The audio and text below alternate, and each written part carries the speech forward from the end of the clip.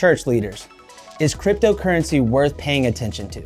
Just a few years ago, only the largest churches were streaming their services online.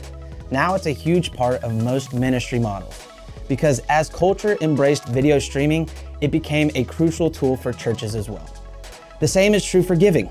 People spend money differently today than they did 10 years ago. But most churches still expect them to give the same way by going to their website and typing in their card number. So if you want to understand how to leverage technology to build generosity in your church, you have to understand how people are using it in their everyday lives. Forbes predicts the cryptocurrency market to hit new records this year. It's a cultural shift that churches need to pay attention to. In fact, we've seen huge donations to churches that have already adopted crypto giving. This just scratches the surface.